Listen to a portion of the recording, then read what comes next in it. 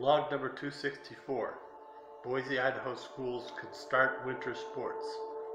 The school board has given the Boise schools the okay to start winter sports despite a recent spike of COVID-19 cases. I definitely see the need for our students to be able to compete in school sports. When I was in high school, I ran cross country, indoor track, and outdoor track. I would have hated it if I couldn't have competed in them. Thing about winter sports is that most of the sports, most of the winter sports are held indoors.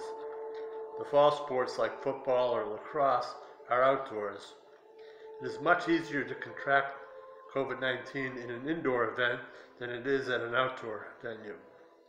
But I worry about our kids today. It's very stressful for them right now. Not only are they being shortchanged in education wise, but many of the school activities have to be canceled because of COVID 19. So I'm glad that they can still play sports.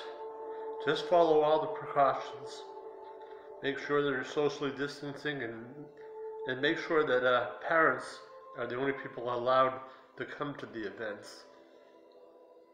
So, anyway, that's the end of today's vlog. Everybody stay safe out there. Bye.